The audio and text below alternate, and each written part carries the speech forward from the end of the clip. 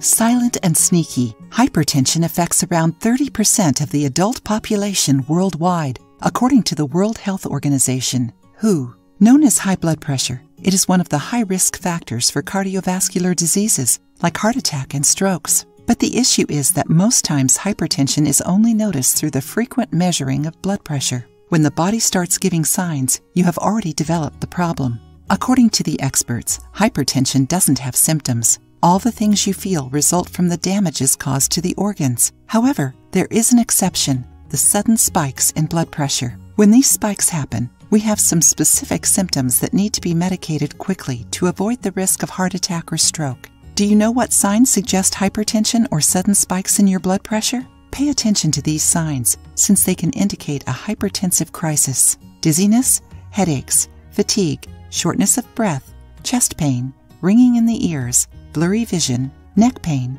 nausea, and vomiting.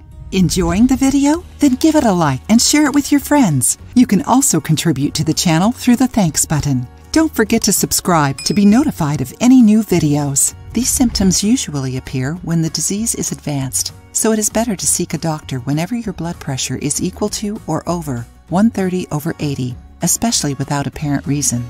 These signs are due to what we call target organs damage. The experts explain that shortness of breath and chest pain result from the left ventricular hypertrophy and a reduction in the coronary circulation, which can evolve into arrhythmia, acute pulmonary edema, heart insufficiency, and acute myocardial infarction.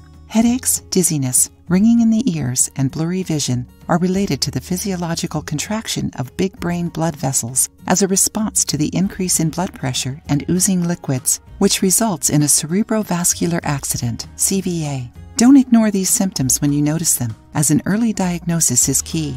The sooner you receive a diagnosis, the fewer injuries you will have. What to do when you feel sick due to hypertension? The best thing to do if you are dealing with an acute crisis or a chronic issue that affects the target organs is to remain calm and seek medical help as soon as you notice any symptoms. Your doctor will probably ask for some exams, like blood and kidney tests and an EKG, to find the cause of your hypertension.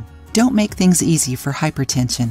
The more you take care of yourself and the sooner you get a diagnosis, the better your quality of life during the treatment will be. The best way of preventing hypertension is to have a healthy lifestyle. Have a balanced diet with moderated salt consumption, avoid being overweight, exercise regularly, three to five days a week, and avoid exaggerated alcohol consumption. If you like the video, give it a thumbs up and share it with your friends. For more recipes and tips, subscribe to the channel.